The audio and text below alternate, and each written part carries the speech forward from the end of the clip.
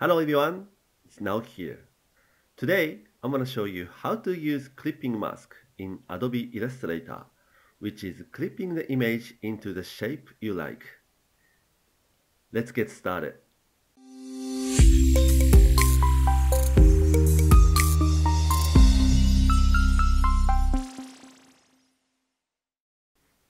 Okay, so let's open Illustrator and place the image you have. Create any shape you like to display the image inside and make sure it is on the top of the image. To do it, I will go sidebar and get any shape from the shape tool. I will get rectangle tool this time. Don't worry about the color, it doesn't really matter here. Then reduce the opacity a little bit to make sure the image underneath is sitting in the right place and adjust the position if it's necessary. Once you are happy with the position, back the opacity to 100%.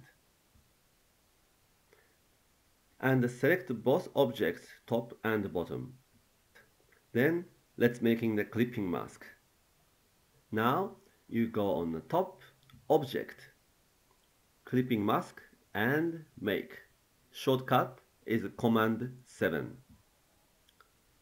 If you want to adjust the position of the image after you made clipping mask, go on the sidebar and get direct selection tool and come to the mask. Then you can move and adjust the position of the image. Next I want to show you is that use multiple shape to use clipping mask over the one image.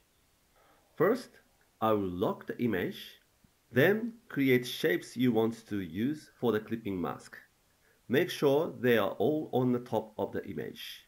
Then select all and reduce the opacity and adjust the position.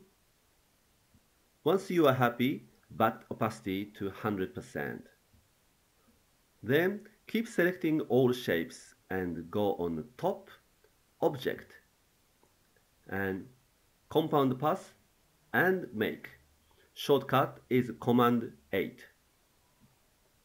You don't see any different, but now these shapes turn into the one object.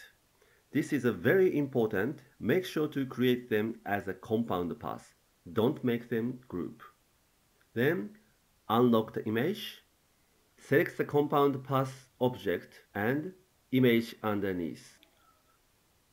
Go on the top object and clipping mask, then make.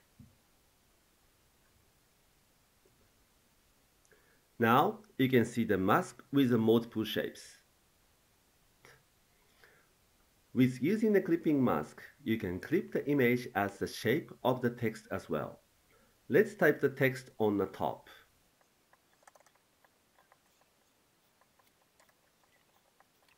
Then place the text at any place you like. Once you are happy, go to the top, type, and create outlines. Then keep selecting this text object and go on the top again and this time is an object. And compound path and make. The color has disappeared, but don't worry, just keep selecting the text object with holding the shift and select the image underneath. Then, the same as before, go on the top object, clipping mask and make. Now the image is in the text shape. Once you know how to use the clipping mask, you can clip images in any shape you like and it can expand your creative options a lot. So this is how to use clipping mask in Adobe Illustrator. I hope it helps. Thanks for watching. See you next time.